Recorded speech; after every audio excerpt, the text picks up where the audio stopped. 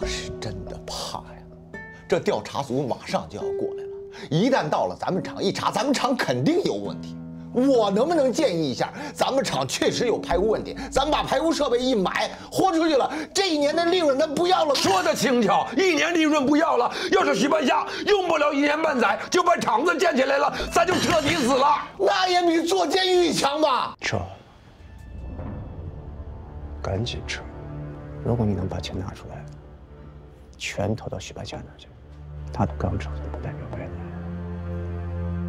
你能进多少钱？至少两千万，还加上一个开平厂的生产设备。我那些设备可都是新的，十年之内不会被淘汰。如果你不信的话，你叫贾长安现在就去验一个月得进账。过了一个月，我答应你的就都不算数。你考虑考虑。